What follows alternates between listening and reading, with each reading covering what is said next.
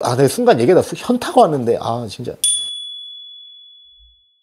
쌍자본 여러분, 안녕하세요. 오박사입니다. 자, 리플이 달렸는데, 아, 이거 오늘 그냥 바빠서 안 찍으려고 하다가, 이거는 좀 남겨봐야겠다 해서. 자, 공격적인 요즘 여자들 인생 강의, 이게 작년에 찍은 거예요. 여기에 달린 댓글. 자, 여친이랑 3년 사귀었는데 오만 걸로 잔소리하고 트집 잡아서 헤어질지 말지 고민됩니다. 밥을 다 먹었는데 밥 묻어있다고 엄청 뭐라고 세심한 배려 부분에서 제가 그렇게 못하거나 성향에서 나오는 다른 부분 때문에 자주 다투는데 그냥 뭐든지 조용히 넘어가는 법 없이 때리면서 일단은 말을 좀 끊어 쓰세요. 일단 말이 존나 길어 말이 어? 밥다 먹었는데 밥이 뭐 묻어있대. 그래서 뭐라 하고 자주 싸워 어쨌든 자주 다투는데 조용히 넘어가는 법 없이 밑줄 때리면서 막 뭐라 해서 처음엔 좋아서 만나는데 이제 고민이 많이 된대. 헤어질지 말지. 자기가 남자인 본인이 듣고 알겠다고 고친 게 많대. 고친 게 많은데 시간이 지날수록 계속 안 맞는 부분을 잡아갖고 뭐라 하니까 돌아버리겠다는 거야. 그래서 제가 딱 물어봤죠. 나이가 딱 물어봤어요. 나이가 했더니 이 남자 이 리플을 쓰는 남자분은 97년생, 여자친구는 98년생. 그래서 저는 와 97년생이면 뭐 그런가 했는데 97년생 지금 나이를 따지고 보면 27살 아니야?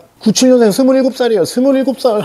27살 남자가 한 살 어린 여자친구한테 밥 묻어있다고 존나 쿠사리 먹다가 쳐 맞는 상황까지 다다랐다. 뭐 그렇다고 줘패진 않겠지. 어? 라이트 훅, 잽잽 라이트 훅 때리진 않겠지만 제가 봤을 때는 그래도 퍽퍽 때리는 거야. 이거 근데 이거 진짜 조심하셔야 돼요. 일단 내가 여자들한테 저도 딸을 키우지만 얘기하는 건 뭐냐면 딸은 솔직히 얘기하면 너무 귀여워요. 근데 내가 되게 유일하게 뭐라고 할 때가 뭐냐면 이 지 오빠를 막 때리려고 할 때 그럴 때는 제가 강력하게 제지를 하고 뭐라 합니다. 이게 안 잡혀 있는 애들이 지금 졸라 많아 여자들이 진짜 앞으로 근데 더 심해질 거예요. 저 와이프도 얼마 전에 얘기하더라고. 수복에서 이제 가려고 하는데 옆에 이제 남녀가 이렇게 있는데 남자가 여자가 뭐 이게 뭘 들고 왔나 했을 때 어 이쁘다 하면서 허리 쪽을 토닥였나. 그랬더니 여자가 어딜 만져 이러면서 대가리를 빡 찍었다는 거야. 위에서 그냥 스매시를 갈겨버려 가지고 남자가 머리를 그냥 이게 맞.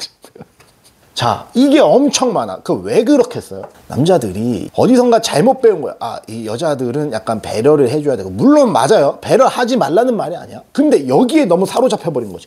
맞아도 가만히 있고, 이거 하나하나 계속 가만히 있고, 그러다 보면은 결국에는 어떻게 되냐? 스매시 갈겨버리고, 이렇게 맞게 되는 상황까지 오는 겁니다. 그래서 제가 주문 드리고 싶은 건 뭐냐면, 자, 세 글자예요. 적으세요. 프레임입니다. 프레임. 남녀 모두 프레임이 있어야 되는데 남자들이 좀 프레임이 너무 없어. 네가 너무 프레임이 없으니까 어 내가 이렇게 얘기했는데 아무 말 안 하고 그냥 들어. 다 인정을 해. 그러면 계속 지적하고 계속 뭐 하게 돼 있어요. 근데 지금은 솔직히 어떤 게 좀 필요하냐면 안 맞는 부분을 캐치해가지고 막 뭐라 하는 거야. 근데 여기서 저라면은 바로 재질을 들어가야 된다. 안 맞는 부분이 있을 수밖에 없고 그 중에서 나는 이거는 안 고쳐진다. 이거는 힘들다 하는 부분이 자기가 생각했을 때 분명히 있을 거야. 밥풀 묻은 거는 그건 솔직히 네가 떼야 되는 게 맞아요. 근데 이 성향 차이에서 오는 거. 성향 차이에서 너가 하나 둘 다 양보를 해버리고 무프레임으로 가버리면 여자들은 본능적으로 어떻게 받아들이냐면 어 이 새끼 존나 프레임이 없네. 그러면서 어떻게 되냐? 가치가 낮은 남자를 인식을 해요. low value로 인식을 하는 순간 어떻게 되냐? 많은 문제점이 나와요. 이렇게 맞고 스타벅스에서 스매시 때리고 이건 둘째치고 너보다 더 강력한 알파 성향이 있는 남자가 나타나잖아요. 글로 갑니다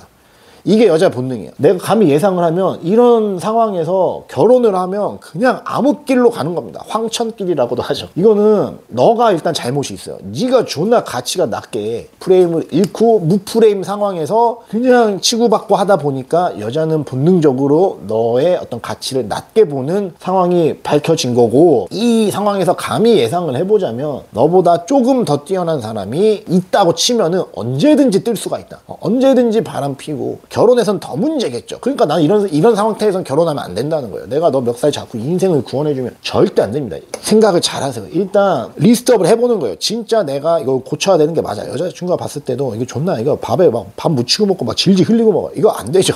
그거는 바꿔. 그건 맞는데 내가 굳이 안 바꿔도 돼. 성향 차이에서 오는 어떤 그런 차이점들. 근데 내가 이걸 다 용인해 줬어. 왜? 스윗해야 되니까. 여자들의 말에 공감해주고 바뀌는 내 모습을 보여줘야 되니까 바꿨던 것들 있죠. 이거 아, 내 순간 얘기하다 현타가 왔는데 아 진짜 우리나라의 미래가 지금 여자친구한테 뚝 까맞고 다니고 진짜 중대장이 그렇죠. 어쨌든 멱살 잡고 살려주면 list up을 해라. list up 해가지고 정말 이건 성향 차이에서 오는 거고 이건 못 바꾸겠다 내지 이거는 나한테 얘기하지 마라. 이런 강력한 프레임이 있어야 된다. 중대장이 멱살 잡고 하드 캐리 하겠습니다. 자, 다음 시간에 또 뵙도록 할게요. 결론은 뭐냐? 프레임을 살리자. 끝!